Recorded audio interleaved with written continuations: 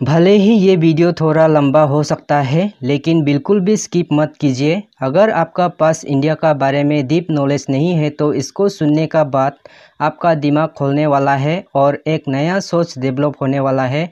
तो चलो वीडियो को शुरू करते हैं। नमस्ते दोस्तों, आज एक बहुत ज़रूरी एंड इंटरेस्टिंग बात बोलने जा रहा हूँ। इस वीडियो को मैं हमारा late brother and sister Samuel and Rosy Sangma का डेथ का साथ लिंक करके बताने वाला हूँ कि हमारा साथ ऐसा क्यों डिस्क्रिमिनेशन हो रहा है। एक बार इस वीडियो को एंड तक देख लीजिए, आपको कंप्लीट हिस्ट्री पता चल जाएगा। और मेरा आप सब लोगों को गुजारिश है कि इस वीडियो को अपने लोगों में ज़रूर शेयर कीजिएगा। क्योंकि नॉलेज बतने से हम किसी से भी छोटा, बड़ा नहीं हो जाएँगे, लेकिन हम जहाँ भी जाए, हमारा ज़िंदगी बहुत आसान होने वाला है। सभी लोग अपना अपना राइट एंड ड्यूटीज़ को जानकर अपना अपना ज़िम्मेदारी निभाएँगे।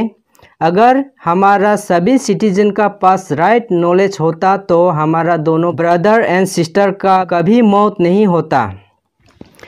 इसलिए ज्ञान को सारे दुनिया में फैलाना हम सभी के लिए बहुत फ़ायदेमंद है और हम सब का ज़िंदगी को बहुत आसान कर देने वाला है।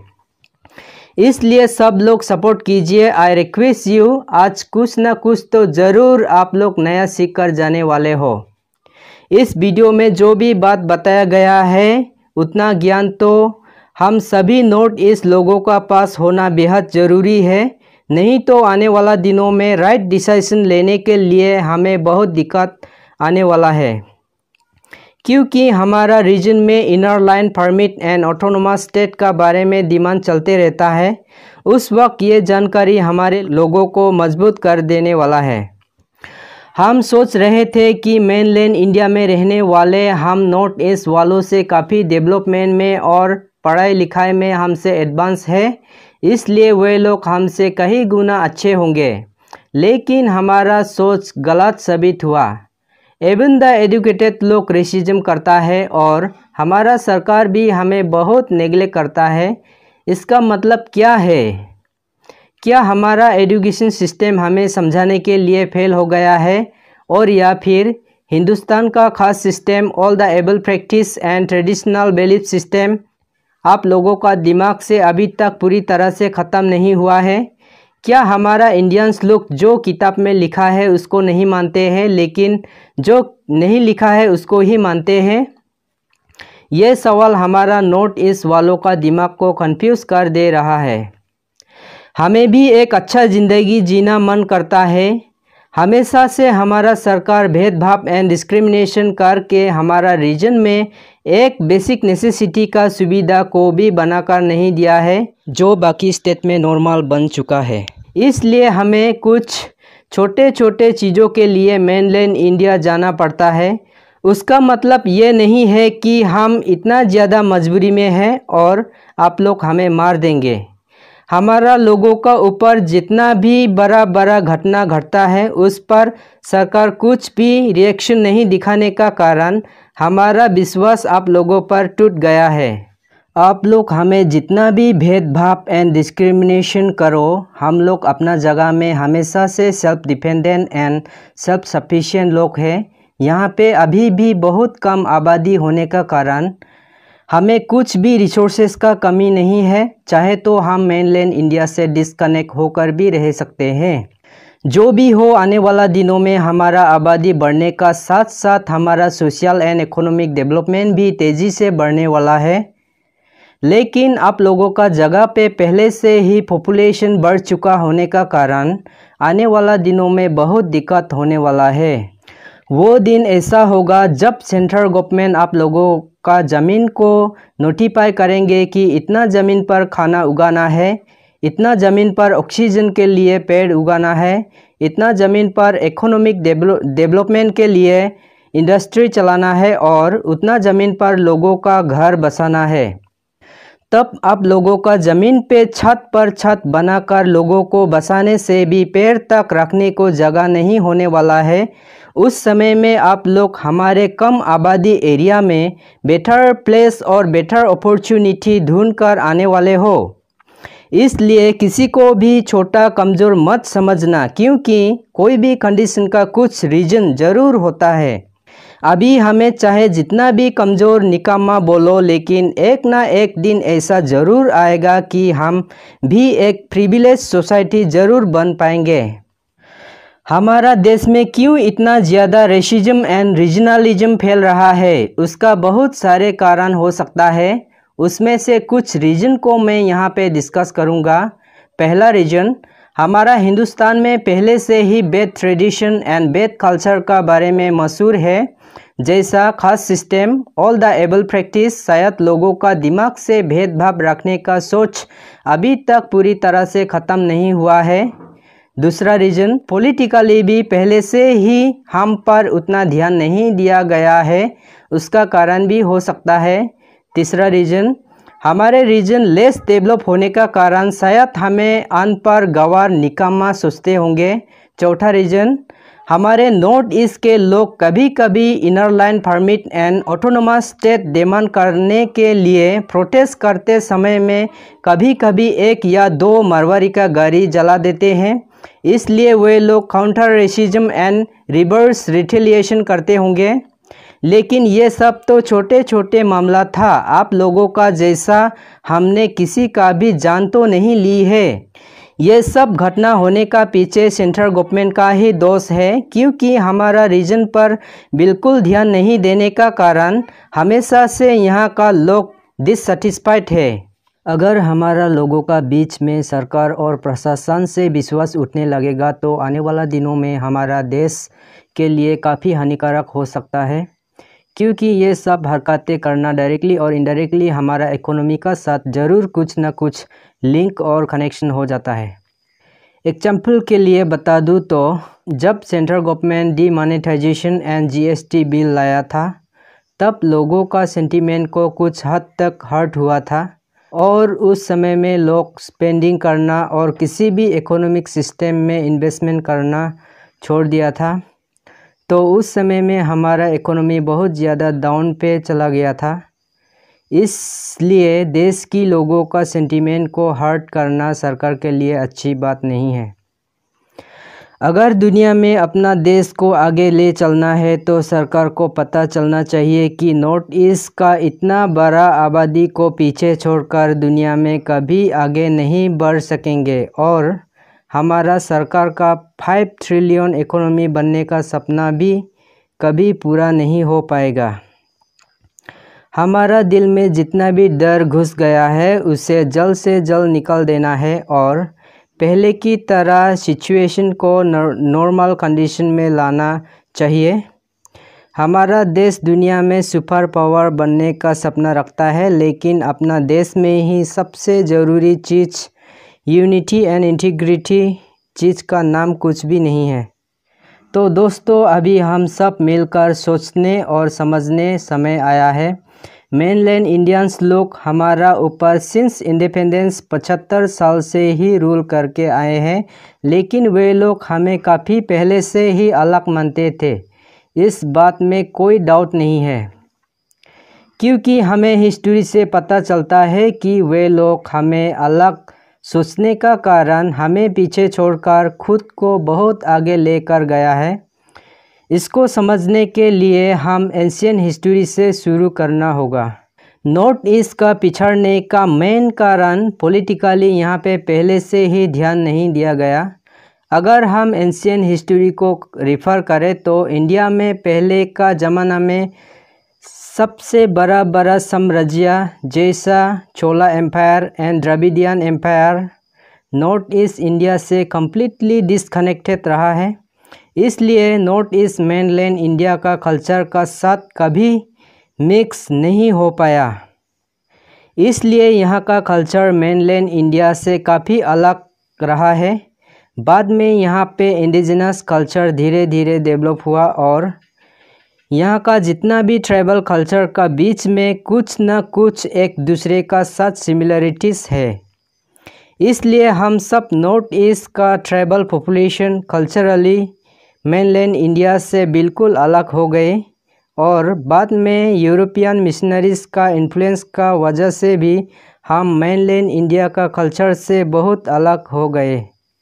इंडिपेंडेंस का बाद जब यहाँ पे नया सरकार बना नॉर्थ ईस्ट का जगह ज़मीन एंड क्लाइमेटिक कंडीशन बहुत डिफ़िकल्ट होने का कारण और यहाँ का पॉपुलेशन बहुत कम होने का कारण पॉलिटिकली यहाँ पे ज़्यादा ध्यान देना फ़ायदेमंद नहीं समझा।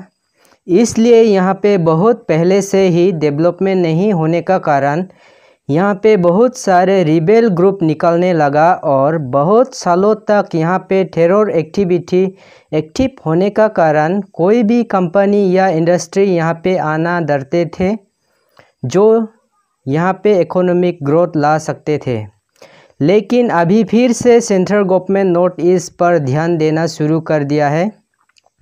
नॉर्थ ईस्ट अभी फास्टेस्ट ग्रोइंग रीजन बन चुका है, जो पहले पॉलिटिकली इग्नोर करके रखने का वजह से पिछड़ा हुआ था, अभी फिर से ध्यान देना शुरू कर दिया है। और बताया जा रहा है कि नॉर्थ ईस्ट आने वाला दिनों में बाकी सभी स्टेट से आगे निकल जाने वाला है। अभी हमारा सरकार नॉर्थ ईस्ट पर इकोनॉमिक ग्रोथ लाने के लिए और बॉर्डर सिक्योरिटी के लिए रेडी इंफ्रास्ट्रक्चर बनाने को बहुत सारे पैसे खर्च कर रहा है। इस इंफ्रास्ट्रक्चर बनने का बाद यहाँ पे इंडस्ट्री सेटअप करने के लिए अच्छा अपॉर्चुनिटी होने वाला है। यहाँ पे जितना भी best and number one roads highways four lane expressways railway lines air connectivity and sea road connectivity यहाँ पे बन रहा है और ये सभी इनिशिएटिव डिफरेंट स्कीम और प्रोजेक्ट का अंदर में बनाया जा रहा है। जैसा कि कलाधन multi modal project Sagarmala project Bharatmala project Udan scheme और North East mega rail road and bridge project इसमें से कोई स्कीम अंडर कंस्ट्रक्शन में है और कुछ स्कीम मिनिस्ट्री का प्लानिंग प्रोसेस में है। सबसे ज़्यादा अरुणाचल में बनाया जा रहा है due to less density of road over there ये सभी प्रोजेक्ट देश की इकोनॉमी एंड चाइनीज़ एग्रेशन को ध्यान में रखते हुए बनाया जा रहा है, लेकिन सबसे ज़्यादा यहाँ का लोगों के लिए बेनिफिट होने वाला है। इसलिए नॉर्थ ईस्ट आने वाला दिनों में सभी स्टेट से आगे निकलने वाला है। तो दोस्तों, आप लोगों को पूरा कहानी समझ में आया होगा कि हमारा सरकार फ्यूचर में सुपर पावर बनने का सपना रखता है और नॉर्थ ईस्ट को चाइनीज़ एग्रेशन से बचाना चाहता है। इसलिए ये सब प्रोजेक्ट शुरू किया है। लेकिन हमारे लोगों का ऊपर उनका कितना कंसर्न है, वो हमें कभी भी नहीं दिखाया है। इसलिए हम उन्हें उतना विश्वास नहीं कर सकते हैं। तो दोस्तों, अभी सबके लिए हाई टाइम है एक साथ जस्टिस के लिए आवाज़ उठाने का। ऐसा मौका फिर कभी नहीं मिलेगा। वे लोग हमें मारते रहेंगे और हम अभी की तरह कभी भी सबूत जुटा नहीं पाएँगे और फ्यूचर में कोई भी केस को इतना हाई लेवल तक नहीं ले जा सकेंगे। फ्यूचर में वे लोग आसानी से हमारा केस को दबा देंगे। क्योंकि वे लोग हमें अपना मानता ही नहीं है तो हमें क्यों सपोर्ट करें? जब भी उन लोग और हमारा बीच में कन्फ्लिक्ट होगा तो कोई भी हमें बचाने वाला और सपोर्ट करने वाला नहीं है बोलकर हमें पूरी तरह से पता चल चुका है। इसलिए नोट ईस्ट का सभी भाई बहन लोग हमारा साथ दो। आप लोग यूट्यूब पर सर्च करके देखिए कितने सालों से हमारा नॉर्थ ईस्ट का ऊपर अत्याचार हो रहा है। ये बात किसी को भी उतना मालूम नहीं होगा शायद। वैसा ही फ्यूचर में भी होते रहेंगे, किसी को भी पता नहीं चलेगा। इसलिए अभी हम सब मिलकर सबक सिखाना चाहिए, ताकि ऐसा घटना फ्यूचर में फिर ना हो। हम सब नॉर्थ ईस्ट का ट्रेडिशन एंड कल्चर एक ही है, इसलिए हम सब एकजुट होकर बुराई का ऊपर लड़ना चाहिए। अगर सरकार ही हमारा जान को बेलू नहीं देता है तो हम किस पर भरोसा करके इस देश में जिए? हमारा होम मिनिस्टर क्यों सामुएल एंड रोजी संगमा का केस को सीबीआई को देना नहीं चाहता है? हमारा सरकार क्यों आरोपियों को इतना ज़्यादा डिफेंड कर रहा है। ये सवाल पूरा नॉर्थ ईस्ट पर फिर से उठने लगा है। हमारा सरकार ऑटोक्रेटिक बन चुका है। हमारा ह्यूमन राइट्स को कुछ भी वैल्यू नहीं दिया जा रहा है। क्या गरीब, कमज़ोर एंड इनोसेंट लोगों का जान का कुछ भी वैल्यू नहीं होता है क्या? ये सवाल सभी लोग सरकार से पूछ रहा है। Counter racism and reverse retaliation को हम कभी भी जस्टिफाई नहीं करते हैं, क्योंकि हमारा नॉर्थ ईस्ट वालों भी कोई अच्छा है और कोई बुरा है। वैसा ही सेंट्रल इंडिया में रहने वाला लोग भी कोई अच्छा है, कोई बुरा है। लेकिन जब भी वायलेंस होता है तो इनोसेंट लोगों का ही नुकसान होता है। इसलिए हम सब देशवासी बुराई का अगेंस्ट एक साथ मिलकर ऐसा खराब इंसान को जड़ से उखाड़ कर ख़त्म कर देना चाहिए। और हमारा सरकार का भी बेद कल्चर बन चुका है। मिलने वाला जस्टिस को भी हमें नहीं देना चाहता है। सरकार का आरोपियों को डिफेंड करने का कल्चर बन चुका है। अगर हमारा सरकार ही हमें अनलॉफुल एक्टिविटीज़ को करके दिखाएँगे तो हम किस पर भरोसा करें कि हमारा भी अच्छा दिन आने वाला है। सभी बड़ा बड़ा घटना का पीछे सरकार का ही दोष है, क्योंकि सरकार ही हमें अनलॉफुल काम करना सिखाता है। इसलिए हम हमेशा सरकार की आदेश को सस्पिशियस नज़र से देखते हैं। इसलिए मैं सभी देशवासियों को रिक्वेस्ट करता हूँ कि हमारा दोनों brother and sister late Samuel and Rosy Sangma का डेथ लोगों का इन ह्यूमन प्रैक्टिस का वजह से हुई है। इसलिए सब लोगों को मैं हाथ जोड़कर रिक्वेस्ट करता हूँ कि आगे भी ऐसा घटना किसी भी इनोसेंट का साथ हो सकता है। इसलिए this is the high time to completely approve the bad culture of our people so please support us and stand with us to give the justice for two of the deceased persons family जय हिंद जय भारत इस video को अगर कोई अपना channel में upload करना चाहता है तो कर सकता है, लेकिन ओरिजिनल वीडियो का चैनल का नाम स्क्रीन पर देना होगा और अपना लैंग्वेज में बता देना होगा और डिस्क्रिप्शन में भी लिंक दे देना, ताकि फ्यूचर में हम कुछ ज़रूरी बात करना पड़ा तो हम लोगों का साथ जोड़ सके। मैं अपना चेहरा स्क्रीन पर नहीं दिखा सकता ड्यू टू सिक्योरिटी कंसर्न क्योंकि हमारा देश नॉर्थ ईस्ट वालों के लिए सेफ़ नहीं है। अगर हम दिल्ली जाए तो अपना चेहरा रुमाल से छुपा कर जाना पड़ता है तो ऐसा कैसा देश है हमें अपना मानने वाला। इस वीडियो को देखने के लिए आप सबको थैंक्स